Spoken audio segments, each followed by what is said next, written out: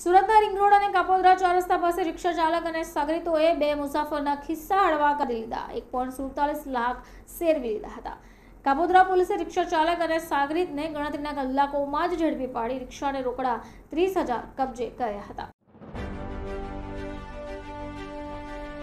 સુરતના Navagam Dindoli Ramnagar plot number બત્રીસમાં રહેતા અને સેનિટિંગનું મજૂરીનું કામ કરતા પચાસ વર્ષના દિલીપભાઈ શ્રવણભાઈ મિસ્ત્રી ગત બપોરે સાડા બાર વાગ્યે તેમના સાડા સાથે રિંગ રોડ એમ્પાયર એસ્ટેટ બિલ્ડિંગથી કમેલા દરવાજા રિક્ષામાં જતા હતા ત્યારે રિક્ષામાં પાછળ બેસેલા ચાર અજાણ્યાએ આગળ પાછળ થઈ તેમના સાડાની નજર ચૂકવી ખિસ્સામાંથી મકાનની પ્રોપર્ટી લોનના રોકડા રૂપિયા એક પોઈન્ટ સત્તર લાખ ચોરી લીધા હતા અને બંનેને થોડી આગળ ઉતારી રિક્ષા લઈ ભાગી ગયા હતા.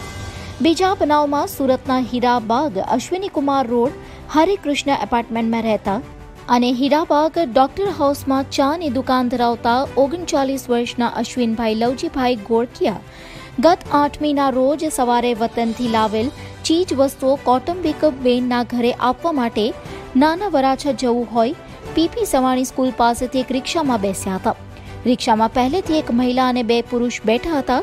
ચાલકે અશ્વિનભાઈને પાછળ બેસાડ્યા હતા. દરમિયાન કાપોદ્રા ચાર રસ્તા સુધીમાં સહપ્રવાસીઓએ અશ્વિનભાઈને આગળ પાછળ ખસવાનું કહી નજર ચૂકવી પેન્ટના ખિસ્સામાંથી દુકાન માલિકને ભાડાના આપવા માટેના રૂપિયા ત્રીસ હજાર સેરવી લીધા હતા અને આગળ પોલીસ ઊભી છે કહી રસ્તામાં ઉતારી નાસી ગયા હતા. આ અંગે અશ્વિનભાઈએ ગતરોજ ફરિયાદ નોંધાવતા કાપોદ્રા પોલીસે ગણતરીના કલાકોમાં રિક્ષા ચાલક ફિરોજ ઉર્ફે બડા નસરુદ્દીન શેખ અને તેના સાગરીત ઇમરાન ખાન ઉર્ફે ટાંગ હમીદ ખાન પઠાણ રિક્ષા અને રોકડા રૂપિયા ત્રીસ હજાર સાથે ઝડપી લીધા હતા. Bureau report, Channel Eye Witness News, Surat.